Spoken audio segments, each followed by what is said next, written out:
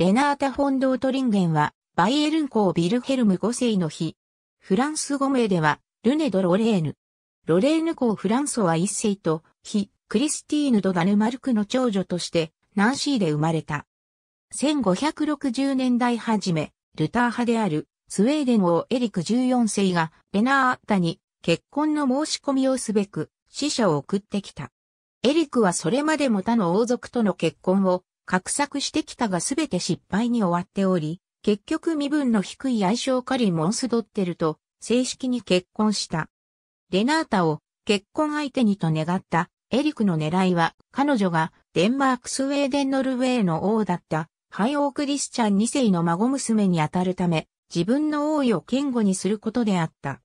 エリクとの結婚はなかったが、およそ300年後にバイエルン選定効果を通じて、レナータの子孫である、ロイヒテンベルク公女ジョゼフィーヌが、スウェーデン王太子オスカルと結婚した。